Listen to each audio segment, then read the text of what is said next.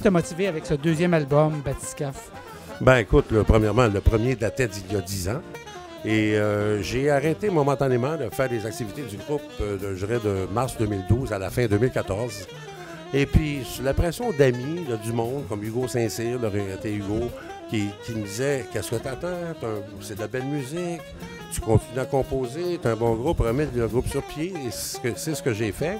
Et puis, euh, quand nous avons fait ici euh, même, au Dièse 11, le dernier show, en avril euh, 2017, euh, en sortant du stage, il y a trois nouveaux membres dans le groupe. Les gars, ils disent Écoute, t'as des nouvelles compositions, c'est un nouveau band, en, en partie.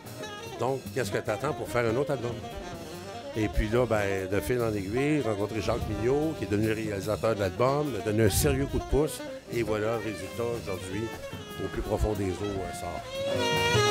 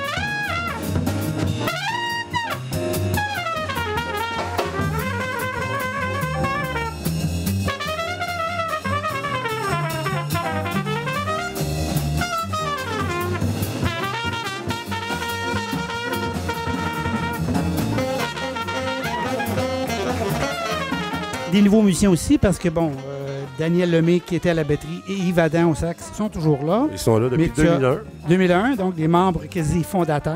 Oui. Mais tu as Étienne Lebel euh, Au trombone. au trombone, Qui est embarqué en 2015, de Mhm. même qu'Éric Saint-Jean au piano. Saint-Jean, le pianiste. Et puis euh, Jean Cyr, lui, c'est depuis le mois de mars cette année. Donc, une nouvelle énergie. Une nouvelle énergie, un nouveau son, une nouvelle approche de la musique, très mature.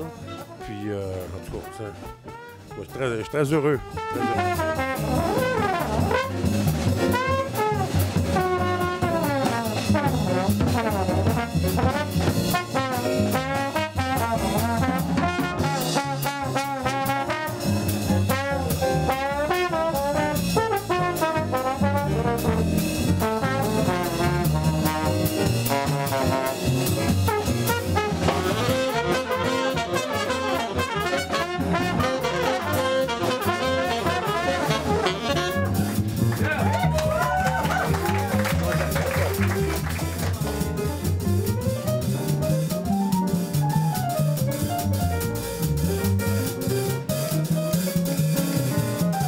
Par le fait même, tu es producteur en partie de ce disque-là avec Oui. Jacques Mignot et Yves Adam, justement. Eh oui. Puis c'est une nécessité aujourd'hui de s'autoproduire. On n'a pas le choix euh, Ben, dans ce on- marché du Québec, du On jazz. peut toujours y aller avec les subventions gouvernementales, on peut toujours y aller avec les, euh, ce qu'on appelle les sociofinancements. Oui. Moi, euh, ayant un emploi maintenant depuis quelques années à temps plein, j'ai pas eu le temps de m'occuper de ça. Ça me tentait pas, moi, de, de quémander. Puis euh, Jacques Mignot qui s'est proposé de, fournir le tout, de payer. Puis il dit Tu me rembourseras. En cours de route, il a tellement aimé le projet parce qu'il venait, répète, il venait, il venait à la session des trois jours de studio qu'on a fait. euh, il aimait tellement ce que je faisais. Il dit J'embarque dans la production. Puis quelques jours après, Yves qui arrive, il dit Oui, ça fait 30 ans qu'on se connaît, ça fait 17 ans que je joue dans Batiscaf, j'ai le goût de m'impliquer, sérieusement. J'embarque dans la production. Música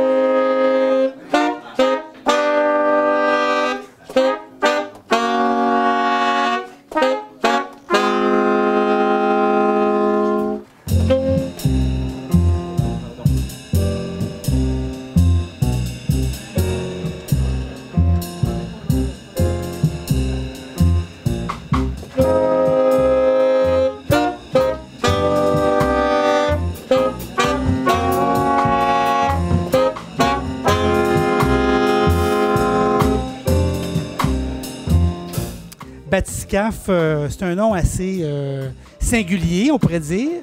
Effectivement. Euh, Il y, a- il y a un petit air marin là-dedans. As-tu déjà été marin toi-même? Ben, bateau de croisière. Bateau de croisière. Ah, D'ailleurs, la, la première mouture de Batiscaf en 2001, les six musiciens qui étaient dedans, c'était six musiciens qu'on avait fait des bateaux de croisière. Musiciens sur un bateau de croisière à un moment ou l'autre de notre vie. Moi-même, j'ai fait cinq contrats, dont un de huit mois avec Yves Adam. Euh, pas pour rien que Yves est avec moi aujourd'hui. On se connaît depuis ce- cette époque-là. Puis ça m'a toujours marqué. Batiscaf, c'est une pièce que j'ai écrite en 1982. Je jouais avec un groupe qui s'appelait L'Arlequin à l'époque. C'était mon premier groupe de jazz à Montréal. Euh, L'Arlequin, euh, c'est ça, on jouait, on a joué la pièce Batiscaf, que j'ai toujours gardé euh, pas loin dans mon répertoire. Puis quand j'ai voulu partir mon groupe en 2001, j'ai pensé à ce nom-là. Puis euh, euh, ben, ça vient du mot grec, batiscaf, bâtisse pour profondeur et scafé pour barque. Donc une barque des profondeurs.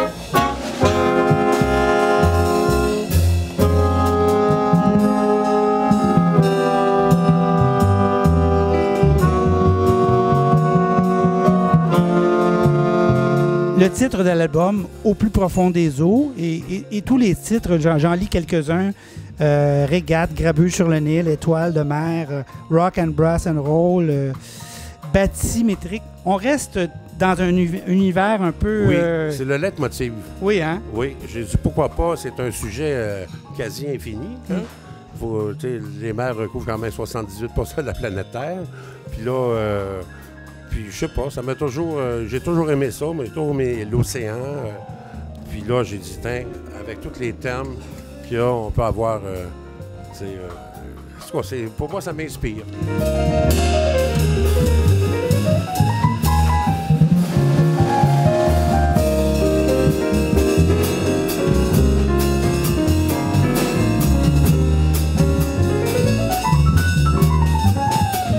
C'est une musique, je- moi je dirais, accessible.